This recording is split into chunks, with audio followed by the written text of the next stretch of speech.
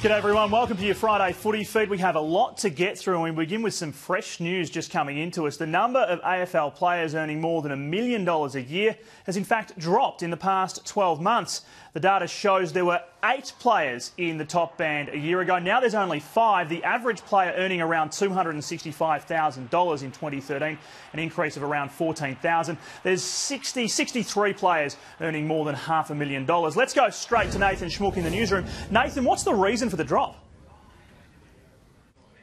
Well, Matty, a lot of players would have been benefiting from front-ended or back-ended contracts in 2012, so those have to end obviously contracts are getting more and more complicated every year, so those changes happen year on year.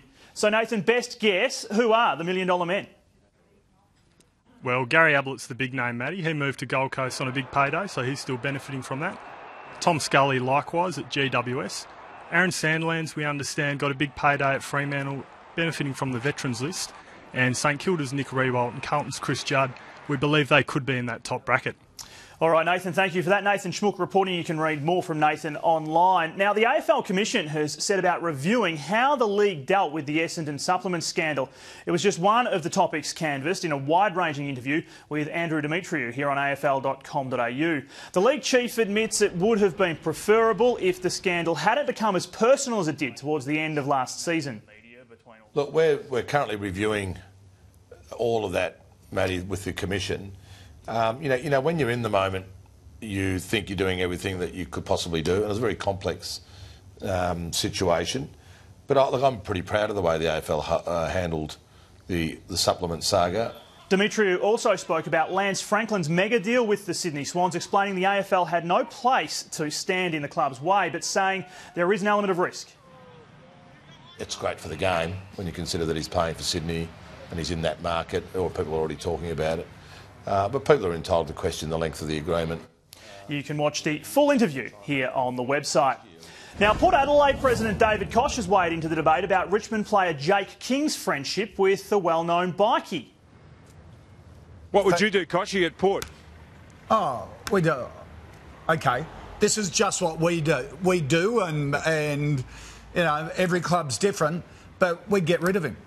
King offered no comment as he boarded the team bus for the trip to Wangaratta today. Richmond plays there against Collingwood tomorrow.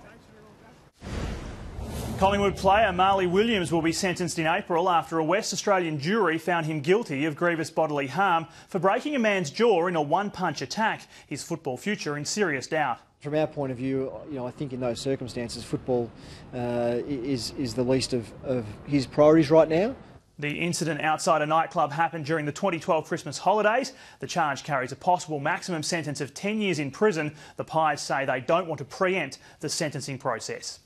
Now, it was the horrific injury that defined the opening game of the NAB Challenge, but just nine days later, George Burbury is back at Simonds Stadium, hopeful of returning to training next week. The 21 year old forward has multiple fractures in his jaw.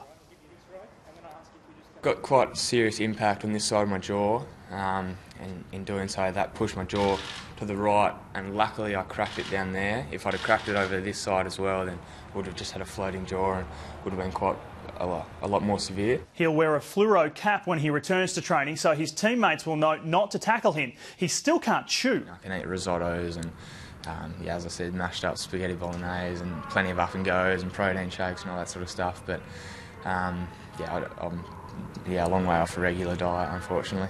Burbury was wearing a mouthguard at the time, saving his teeth. He says he'll never take the field without one again. And it's looming as a big year for young Western Bulldogs forward Jake Stringer on and off the field. The 19-year-old and his longtime partner are expecting their first child, and he'll be turning to his senior teammates for support. Got to grow up a little bit quicker, which is always good. But I mean, there's plenty of great people around the club: Adam Cooney, Gr Murph, Dale Morris, Boydie, all those boys. So they've been really good for me. On the field, he'll be part of a bolstered forward line alongside former bomber Stewart Crameri. Okay, the NAB Challenge continues tonight. Hawthorn and North Melbourne in Launceston. You can stream the game on the AFL Live official app and catch the highlights on afl.com.au. That's it for Footy Feed this Friday. For the entire team in the control room, our camera guys in Media Exchange, thanks so much to you all. I'm Matt Thompson. Have a great weekend.